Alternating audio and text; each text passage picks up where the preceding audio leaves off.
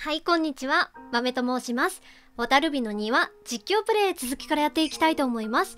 はい、ということで、おじいちゃんの大事な品、えー、潮色の人形をね、取り返すべく、今、ルリー姫さんのお屋敷に来ておりますね。で、春と夏の、なんか、お部屋をクリアしたので、次は秋のお部屋っぽいですね。はい、人形さんに話しかけとこう。おー、ごめんね、また。連続性。えー、ようこそ秋の前何もない部屋だけどゆっくりしてゆっくりしていってねとねちょっと聞いてちょうだいなはい瑠璃姫様ったらこの屋敷は新規臭くって嫌って言ってそこにある地蔵をぐちゃぐちゃにしちゃったのよいくらなんでもひどいと思わない？自分で作った部屋だってのに。そうだあんた。ここの地蔵並べ直してよと。私じゃ重くて運べないんだもの。頼んだわよ。なるほど。でもなんか順番がありそう。首なくない。首なくない。本当にぐちゃぐちゃだわ。はい。えー、この部屋の地蔵の並びには決まりがあります。間違えないように気をつけましょう。気をつけます。首なしの地蔵は角にしか置いてはならない。また隣は風車の地蔵でなければならない。首なしは角で隣は風車、えー、2血の涙を流す地蔵は隣同士に置いてはならない。なるほど。間違った場所に置く。なんとなく察してます。殺されるんだろう。っていうことでえっ、ー、とまず首なし地蔵は端っこじゃないといけないんですね。これはもう動かせないんですね、えー、地蔵は初めからここにあっただゆるるらら ラップ決め込んじゃった。ということでえー、っと風車の地蔵が隣にないといけないんですよね。首なし地蔵は確か。これ風車？風車ってどれ？これが血の涙で？ごめんなさいね。今ちょっと 見えなくてめっちゃ画面に近づいてるんですよ。多分これが風車だよね。赤と緑の風車っぽいのが見える。なので、えー、血の涙の地蔵は隣り合わせにしちゃダメなんですよね。なのでえ間違い間違いごめんなさい。動けなくなっちゃうんですね。やべえ。えっ、ー、とじゃあとりあえず血の涙の地蔵をここに置いてあげて首なし地蔵を一番端っこに置いてみましょうかね。はい。でも隣風車じゃないといけないから下の段の一番端っこに置いてあげましょう。おい。おい。でえー、こう置きましてと。でこれってさどうなんだろう。あの隣り合わせじゃないといけないっていうのは縦もこの風車の事情事かわいいか萌え系か噛んじゃった。地蔵じゃないといけないんですよね。これでどうだ？あれダメだった。あでも殺されてないから大丈夫なのかな？あもうちょ待って。もう終わっま待って。えっとちょっと早くしてよね。しご頑張ってやってるって。ああここはずっと夕暮れのままだったわね。おバカテヘペロ。並べ終わったのと終わりました。ちょっと待って。ごごめんね。じらしプレイを繰り広げて。はい。ということでこれでいかがでしたんしょう？恥ずかしい。噛んだ。もう終わりました。多分大丈夫なはず。どれどれ。あらほんと。ちゃんと綺麗に並べてくれたのね。お礼を受け取ってちょうだい。やったー超羽のプレートをもらった。ありがとうございます。今回はサクッと終わおりごめんね出たり入ったり楽しいはい人形がいっぱい出てきましたね扉が開いたから出てきちゃったのかなはいということであとはじゃあ冬のお部屋が残ってるのかなこれで違うプレートこれで3つ目チャリンこと。だいぶ手慣れてきたな。そういえば聞いてなかったがあ。おじい様とやらはどんな人だったんだ？おじい様ですか。君がここまで必死になるから少し気になったんだ。おじい様はおじい様はとても優しい人でそして私に残されたただ一人の家族でした。両親は私が小さな頃に馬車の事故で亡くなって顔もよく覚えてなくて引き取って育ててくれたのがおじい様だったんです。そのおじい様も去年亡くなってしまいましたが私にとって思い出に残っている家族はおじい様だけなんです。そうか。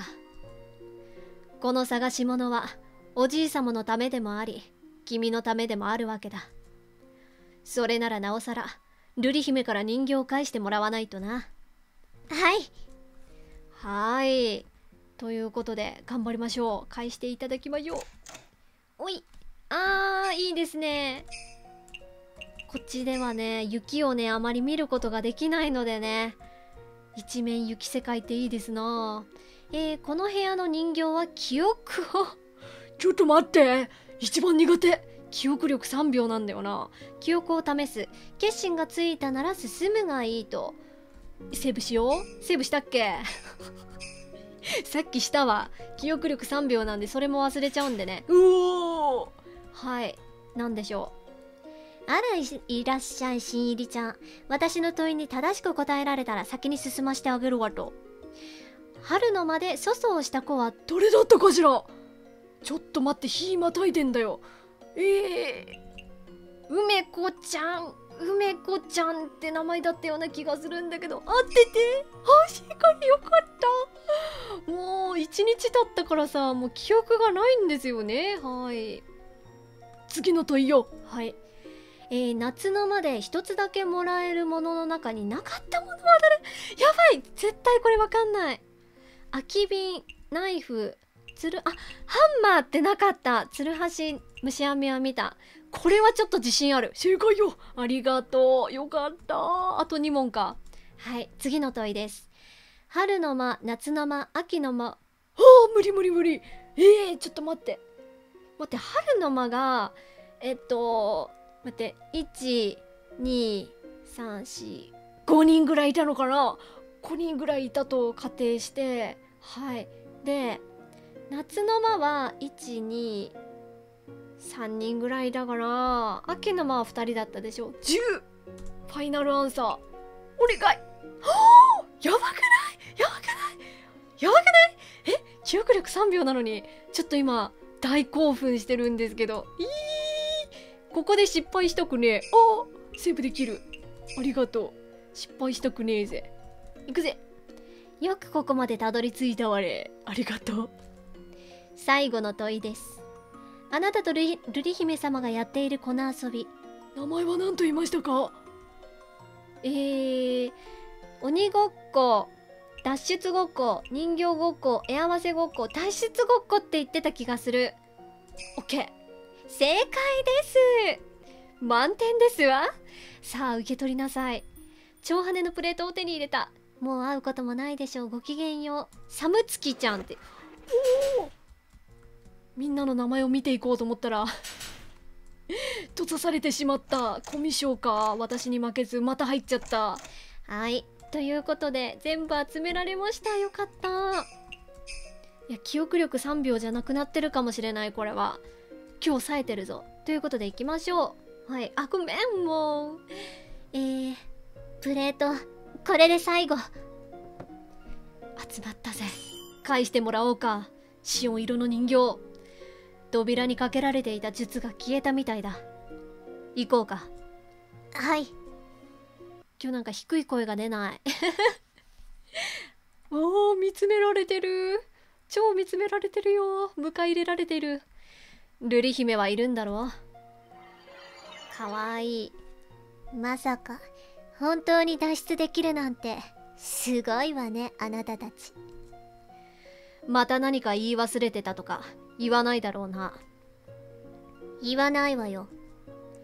私のように高貴な妖怪は揚げ足取っても嘘だけは言わないわ。それじゃあえあなたたちの勝ちよ。約束通りこの子はあなたにあげるわ。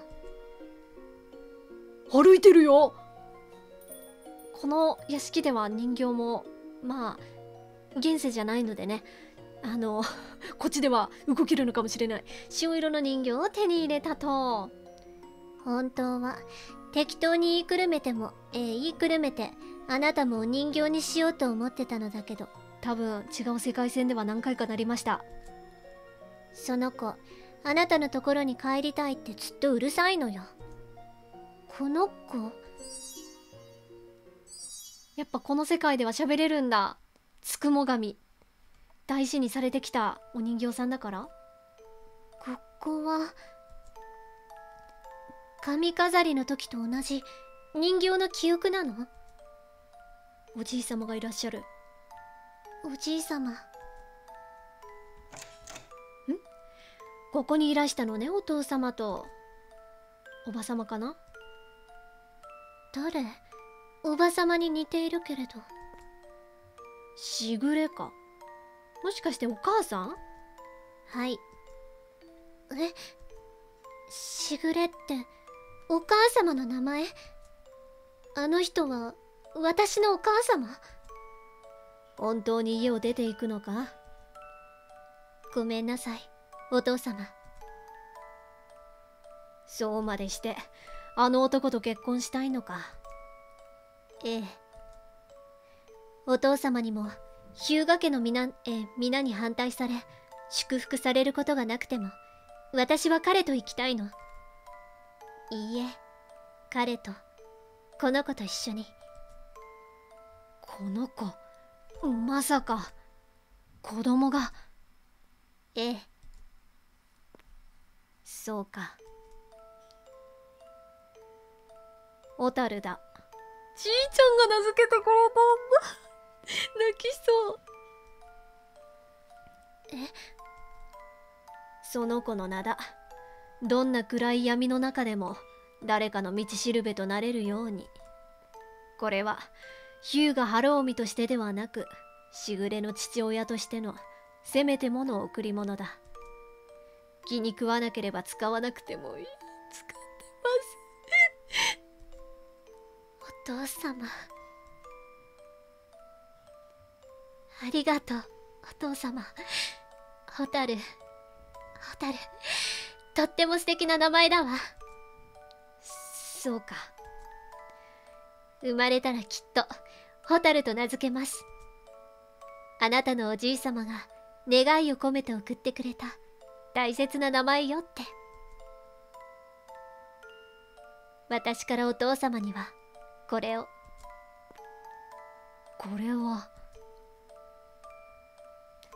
小さい頃お父様が初めて私にプレゼントしてくれたお人形。比喩がしぐれはこの人形と一緒にここに置いていきます。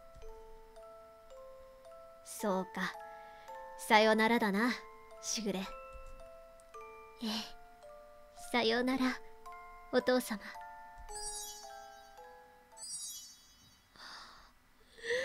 大切にされていたお母様の人形だったんだ。知らなかった。変な音が入ったね。ごめんなさい。お父様とお母様あんなことがあったなんて。違うおじい様だった。おい大丈夫か？え？人形を持ったままぼーっとして気分でも悪いのか？え今の何のことだ？人形の記憶を見ていたのは私だけ？今のは幻だったの？その子が見せたものは本当のことよ。人形を簡単に手放す悪情なあなたたちと違って私たちは持ち主のことはしっかり覚えているもの。そのことどこで知った？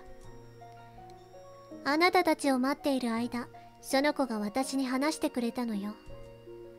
あなたのことあなたのおじい様のことそしてお母様のこと。悪かったわね。あなたのことを嘘つき呼ばわりして。いいえ。安心なさい。あなたの正体は誰にも言わないわ。本当か？何度も言っているでしょ私は嘘はつかないって。馬鹿正直に私との約束を守って遊んでくれたお礼よ。これはお礼ついでに教えることだけど私が聞いた噂では異国のバラの貴族が蛍火の贈り物の一つを手に入れたそうよ。異国のバラ貴族。あいつか知ってるんですか？ご存知なんですか？まあ神倉街では有名だからな。引きこもった変人だって。変人まちょっと変わったやつよね。誰にも見つからないように隠した自分の屋敷にずっと引きこもってるし。でも私はお茶会仲間だからたまに遊びに行くことがあるの。でその時に使うのがこれ。これはバラの招待状よ。ポストに入れれば入れた人ごと一緒に彼の家まで届けてくれるの。便利でしょ？便利なのでしょうか？まあ俺が血眼になって奴の屋敷を探す手間はかけずに済むな。しのごの言わずもらえるものはもらっておきなさいよ。バラの招待状を手に入れた。彼が素直に返してくれるかどうかは私にはわからないわ。でもほだされればすんなり返してもらえるかもしれないわね。私みたいに。え？さ遊びはおしまい。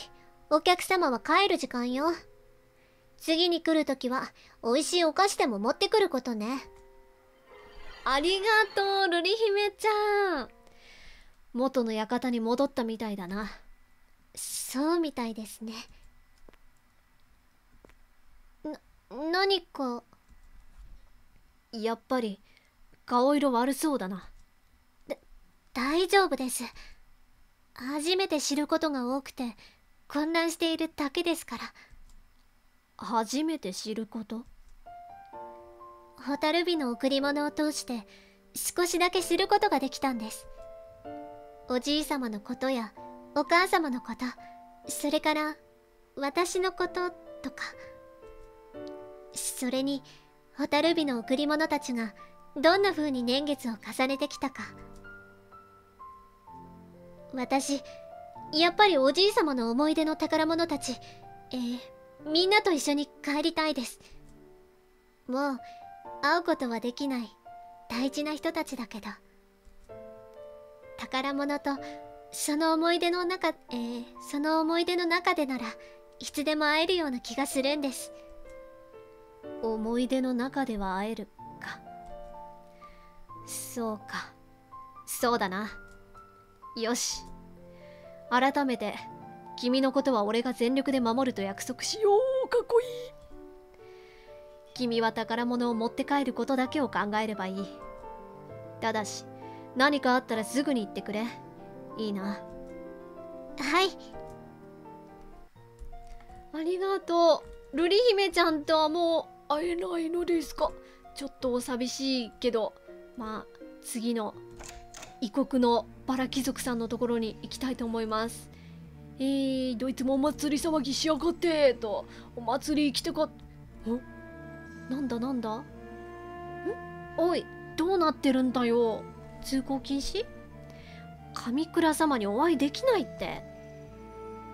えー、それでどうやって志願に行くための許可をもらえって言うんだよ。許可なしで行けってのか？とにかく今はお会いになれんのだ。許可は後にしてくれ。どうしたんだろう？なんか揉めてるな。今ここを通るのはやめておこう。へえ何があったの？やじ馬やじ馬。何があったんだろうね神倉様に。おーい。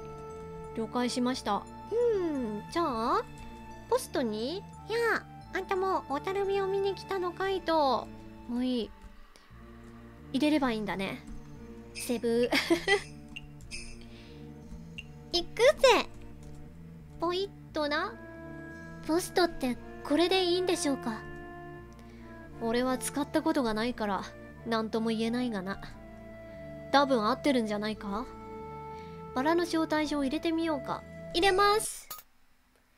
えー、な宛名を確認。異国のバラ園ですね。かしこまりました。すげえルーラしてくれるんだこれで。キメラの羽か？お？すごい。切りかかってるよめっちゃ。すっごい。本当に移動できました。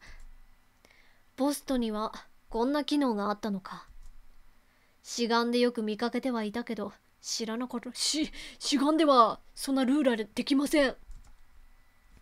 瞬間移動できるのはこちらだけだと思います。それよりバラが咲いてますね。ここが異国のバラ貴族さんのいるところなんでしょうか。おそらくな。ここには入り口も出口も見当たらない瑠璃姫が言っていた通り誰にも見つからないように隠された場所みたいだ。そういえば異国のバラ貴族さんはどんな方なんですか？先ほどは変人だっておっしゃってましたが。その言葉のままさ。あいつは異国のバラ貴族は海の向こうからやってきた妖怪だと言われている。